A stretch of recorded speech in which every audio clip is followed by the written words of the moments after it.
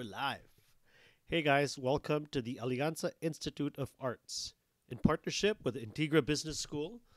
And this is from our sponsor, Prime, profi- the course Proficiency in Management and Entrepreneurship. And what we're giving you is a free micro lecture on entrepreneurship. So it's nice, it's quick, it's fast. You can just leave it playing on the audio and just listen to it and hopefully it will provide you with something of value in the next 10 or so minutes of the day and can help you out. All right, so uh, this is me, upper right. Uh, uh, my name is uh, Rob Pengson. I'm a chef. I'm also a, uh, a professor of uh, beginners entrepreneurship and management classes. I also teach leadership, and I am a fan of our finance department's classes. And I am uh, head teacher of the entrepreneurship department, and I'm delivering this uh, this micro lecture for you guys. And today's topic is something that I, I really enjoy. It's uh, the 4M framework. All right, so uh, what we're going to discuss today is the 4M framework for entrepreneurship. This is really great if you're new to entrepreneurship. If you have bad feelings about entrepreneurship, if you have bad experiences about entrepreneurship, um, hey, maybe this is just what you need today. So for today, we're going to go through the four M's. Uh, these four M's were created by uh, yours truly for the Aleanza Integra School of Business, and we use these four M's as a framework for beginning entrepreneurs to be able to uh, to navigate the world, no, in real life and really understand where they are in their journey and what tools, principles, uh, and laws they can put to their benefit that they can use so they can become effective in what they're trying to accomplish. So let's start it. 4M framework begins with mindset, the market, the model, and the money.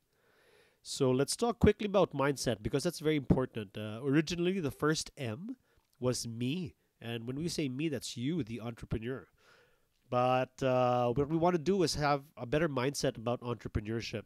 And for non entrepreneurs, they look at entrepreneurship. Many non entrepreneurs see entrepreneurship as just people making money, uh, you know, opportunistic, uh, trying to trying to churn a profit.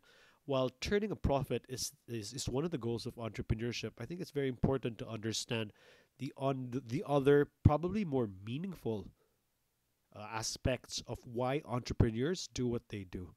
And when you speak to true entrepreneurs, you know, seasoned, they made good success, they failed maybe a few times, uh, they're building things, is uh, that they have a mindset of positivity. So let's go through it one by one.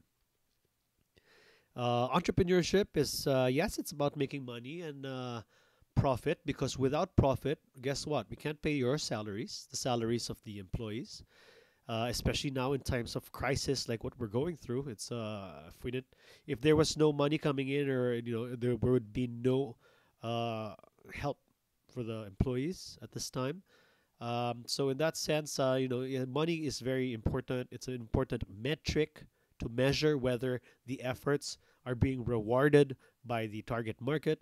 Because without uh, without a positive uh, financial outcome at the end of every period, uh, it will not sustain. And if you're not sustaining anything that you want to do, any enterprise that you wanna want to endeavor for, it it, becomes uh, a waste of time. No? So you have to make sure that it's sustainable. And oh, next, let's talk about a meaningful life. Okay, what is a meaningful life? Have you ever asked yourself what a meaningful life is? Well, we tend to explore this a lot in our classroom, and we go through a lot of uh, philosophers and existentialists and professors and writers and authors and many ideas throughout the history of mankind. You know, we start very we, we look for wisdom in uh, from the start of the Roman Empire. We look for wisdom in the Bible and Christianity. We look for wisdom in different CEOs, and and see and try to correlate what makes a meaningful life. And a lot of the answers that we get based on our research is that what makes a meaningful life is one when you can decrease the suffering of other people and yourself. uh, because life is difficult. You know, life is difficult. We have to go. Th- there's a lot of poverty around us. There's a lot of suffering. There's a lot of problems. Entrepreneurship, a good entrepreneurial mindset, decreases suffering uh, through their products and innovations and services. Uh, basically, sometimes what we call it is they they provide solutions, modern day solutions to to modern day problems where the old solutions are quickly becoming obsolete. And uh, a meaningful life is all about changing and improving life for other people. And next, also, it's also about being honest with yourself. Uh, a lot of the times uh, when people enter entrepreneurship classes, uh, they might have very big egos, inflated egos. There's a lot of the self at play. Uh, however, when you uh, it's a very difficult enterprise to to to enter a life of entrepreneurship and create create something in the world that's supposed to make life better. So when you're honest with yourself, uh, you also learn about your negative habits and how you can keep them in check. Uh, if you have any uh, biases that are making you a difficult person to work with, if you have any biases that are making you uh, less effective in achieving goals or working with others, uh, we try to find these these things and try to eliminate them or make you aware about them so that you can you can choose to uh, work on them so that you can work better with other people and of course achieve what it is that you're trying to achieve. And uh, next uh, the mindset's all also about setting goals. Uh, if you don't have any goals i can tell you what your bank account is like. That's what some people say. Uh, no goals no purpose in life. Um, setting goals and being very clear about the goals uh, writing them down, being strategic about them, and vetting them against yourself is also very important. So we do that a lot in the mindset portion of the first M. And finally, um, entrepreneurship. It's not just about making money. It's having the life that you want. It's having the day that you want. It's having the schedule that you want. So you can choose the field where in which you work. You know, it could be food and beverage like me or education like me. It could be beauty. It could be digital marketing, creating videos. It could be tech, programming, making software.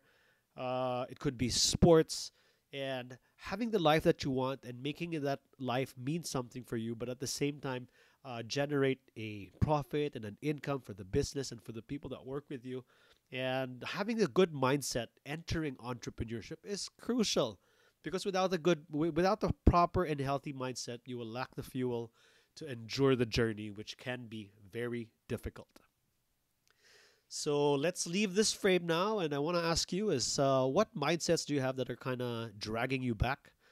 Um, it's not all about you it's about us with other people.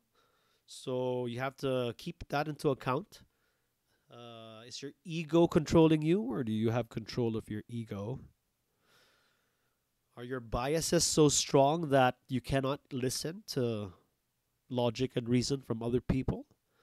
So these are the questions that we ask ourselves about, especially during the mindset exercise and uh, framework. We, what we want to do is become more receptive to others and the world around us because it's the world around us that we're trying to help. Okay. So a lot of the first M is all about me. It's all about you. It's all about what's inside you. And when we step outside of the you, then we begin to then we begin our relationship with the market. And this is a very important relationship between you and the market that you serve. Uh, the market is the industry that you choose. It could be medical, and you niche it down lower. It could be uh, kidney dialysis or tests. It could be food and beverage. Are you delivery, fast food, fine dining? It could be hospitality. Are you Air, Airbnb? Now it's kind of difficult. You know, are, are, you logistics? Are you now making your own platform for food deliveries? Uh, so ultimately, it's the market that you choose. Uh, and then the second M, it's all about the other people, the market, the industry that you choose. Uh, very important to understand that different industries have different profit margins and profitabilities and incomes. Usually, the industry that you choose, uh, the incumbents or the current players in that industry, they share the same problems. No? So, the airline industry might have very low margins versus uh, the food industry used to. I don't know about now, no, but the food industry used to have higher margins. But then, obviously, when uh, you know, things change. Things change. And then once you understand the market more, the industry, uh, you start to niche yourself to a to a better uh, segment of the market. Then you realize who your target audience is, and you have to be very attuned with your target audience because these are the people who reward you. They reward you with their sales. They reward you with their willingness to pay. Uh, as an entrepreneur, you create value, you know, and you don't decide which what the value is. Just because you like something doesn't mean it's going to sell.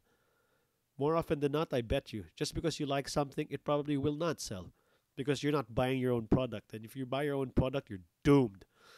So ultimately, the the people that are buying your product or your service are your target audience, and you want to make sure that it's valuable for them. But they're not going to tell you it's valuable for them, right? It's kind of difficult. It's very difficult. So what do you do? Obviously, you can ask for feedback, but the best feedback that your target audience gives gives you is repeat sales. It's a willingness to pay for your product um, in relation to all the other products out there, all the other substitutes. And when your target, when you can find a way that your target audience actually re- rewards you with their willingness to pay for your product, then you may have a good product and you may scale upward, young entrepreneur and uh, go on. But just be very careful that you don't get uh, you don't get too overconfident because many an entrepreneur with a few successes they get overconfident and they make rash decisions. So we talk about that in the class with lots of different cases. Um, also, failure is also part of the whole process, and if you fail and you quit, it's quite you're shortchanging yourself because you know that's just the best lesson. You failed, you quit, you may have failed, but you learned a good lesson. And that makes you a wiser, more experienced entrepreneur. And if you quit the whole process right there, then you just cut your progress in the time when life was teaching you the most valuable lessons. And then finally, there is business strategy. We talk about business strategy a lot when we talk about the market. Uh, you have to understand things like the Porter's Five Forces, uh, different business strategy for incumbents, uh, there's such a thing as disruptive innovation, low cost innovation, uh, new market innovation. And also, if you're an incumbent or if you're a current player, you have to protect yourself against new entrants or copycats because there will always be new entrants and copycats. And you have to find, you have to navigate the barriers to entry and also make some nav- barriers to entry for yourself. Okay, so question for you is what market are you part of? is that market that you or industry that you're part of is it really the industry you want to be with? Is it profitable? How is it? Are there too many players? Is it saturated? If there are which area of it can you pivot to so that maybe it's easier for you? There's more of an opportunity there. Uh, are there uh, other businesses that you can tie up with? Uh, this is very difficult, especially for those of you who are passionate about something.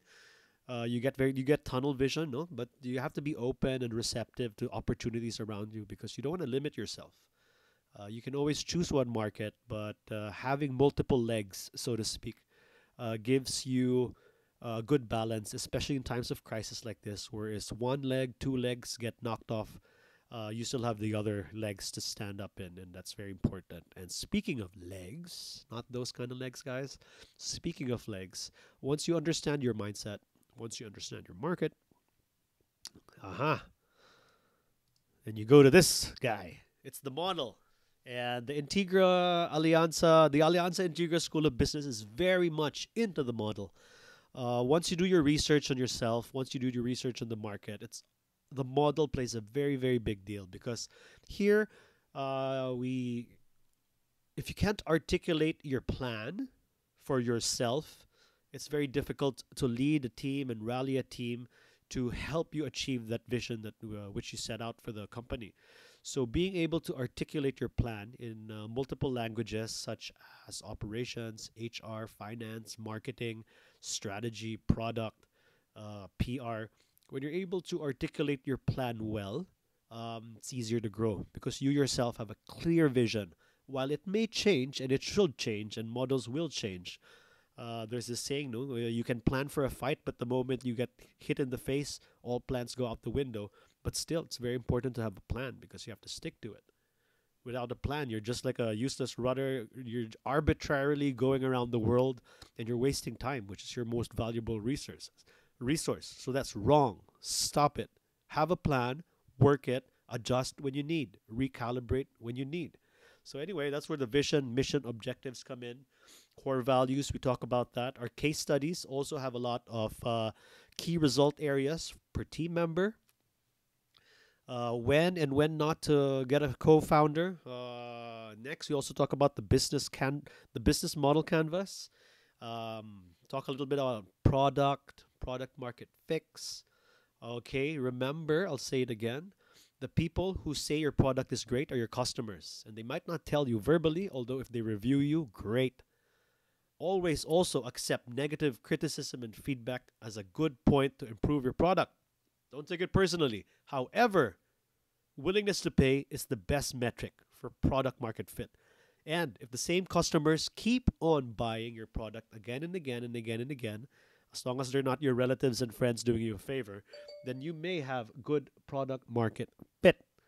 All right, so we talk about that, and there's a lot of case studies that we go through with that class as well. And then there's your marketing model. Uh, you have to know how to market and sell your product. You might have the best product, but if you can't market it properly, uh, you're going to be burning money really fast. We talk about the delivery system and operations. Having a team is very important. You can't do everything yourself.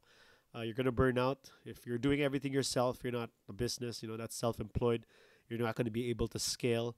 Ultimately, having a team and having systems and managing your resources, that's what the model section is all about. So remember this third M. It's very important. It's basically how you will achieve now your vision. And if I may, what's your model that you have now? Is it efficient? Is it effective? Is it costing you a lot? Are there a lot of inefficiencies? Are you getting things done? So review your model, see what you need, see what you don't need.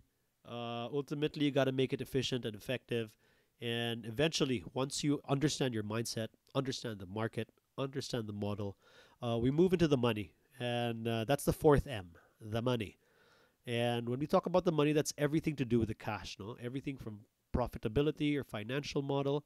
So let's go through it one one at a time, no? When we talk about finance and money, a lot of you it goes over your head. It's intimidating. Uh, at the Aleanza Institute, uh, at the Aleanza Integra School of Business, we want to make it nice and fun, easy to understand. Um, anyone can understand it right away, so it's quite simple, but it is tedious because we have to have some discipline. You know, it's not just easy and fun and games. Have to have some discipline. So understanding the financial model in its most simplest form is we start with the income statement. There are three major statements, no? The income statement, the cash flow, and the balance sheet. Uh, we start with the income statement because you just have to make sure, first and foremost, that uh, you have to understand your margins when it comes to pricing your product. You have to understand if you're selling and making more money than you're spending, which is very important when you're running a business because you want to be able to sustain it. And next up, we also talk about valuations uh, covered in the class. You can do your own research. Uh, we use net present value or NPV. You can research that. Uh, it's a way to understand the valuation of a project based on with the time element involved.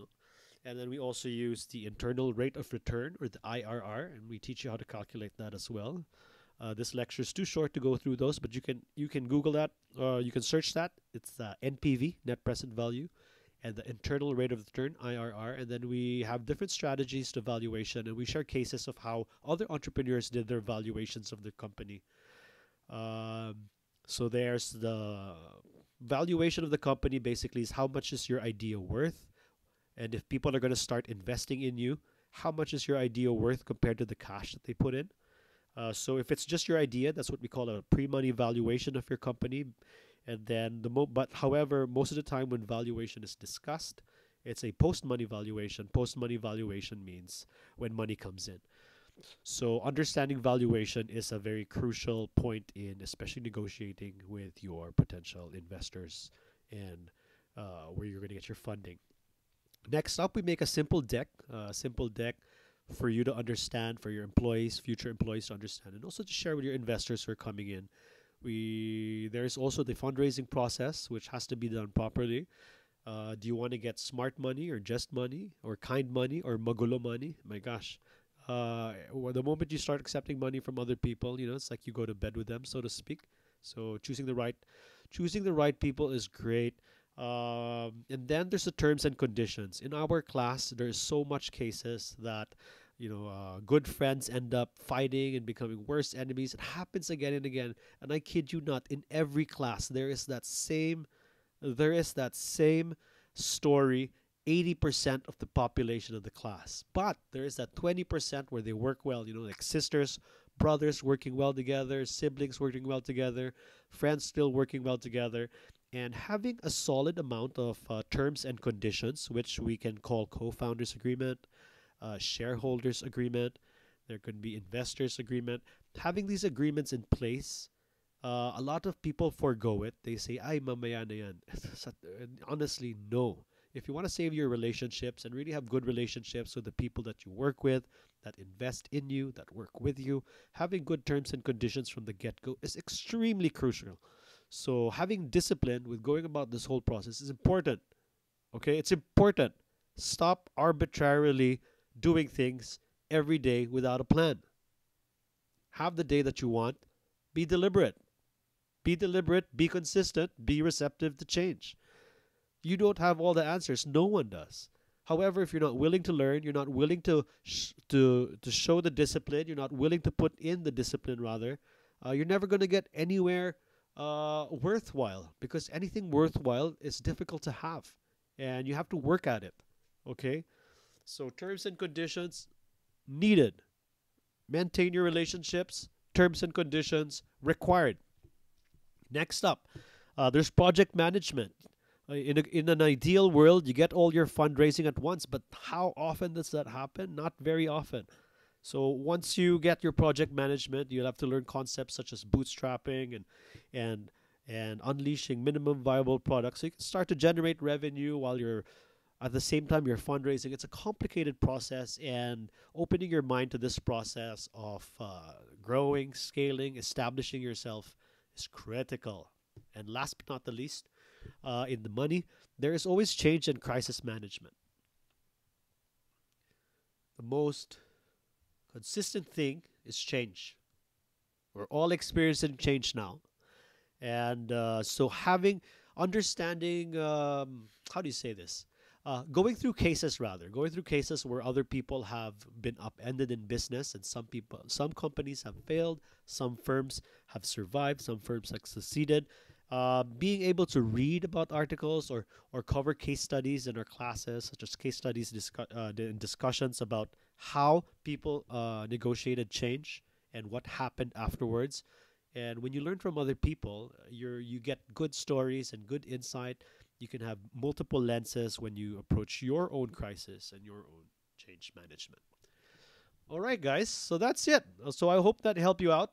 Uh, that's the 4M of entrepreneurship. If you're getting into it, uh, look into your mindset, look into the market, look into the model, and learn a little bit about the money. Now, some questions for you is what negative ideas do you have tied with entrepreneurship and making money? Where did they come from and what can you do about it? Question number two how can you make life better for a specific group of people? This could be your product or your service. How? What problems now are around you that you have solutions for that people might be willing to pay for? Next up, how can you be disciplined and scientific as you approach the entrepreneurial and management of a business? Okay, you don't want to uh, you don't want to shoot bu- shoot from the hip uh, and do random uh, decisions or go forward arbitrarily without no rhyme or reason. You cannot. You cannot. You cannot. You simply cannot. Uh, being more uh, disciplined and scientific in your approach, uh, it's it's it's proven effective. It's data driven. It's uh, you look at empirical data. You make adjustments. You see what works. You hypothesize, and then you get rewarded by answers based on a series of testing every day, just small little tests. So, how can you be more disciplined and scientific as you approach business? And what can you do today to make your life better? So that's it, guys. Those are my questions. Thanks very much. Uh, this is part of week one of the entrepreneurial framework. Uh, obviously, it gets more complicated than that in class. It's an entire week. Uh, I'm going to give you free micro lectures like this. Uh, I believe I'm going to give you nine because I'm going to base it out of every week of the Prime course outline. Now, Prime stands for Proficiency in Management and Entrepreneurship. Okay. If you want to check it out, you can go visit aleanzainstitute.com uh, and look for the Prime course. It's right there. Uh, we used to have this class live. Now we're going to have it online.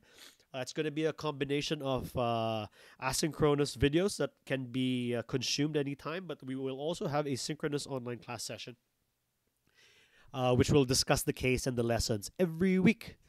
All right, guys. So cheers, ciao. Thanks very much. I hope you guys enjoyed. Have a good day. And from the Aleanza Institute, uh, from the Aleanza Institute and Integra Business School.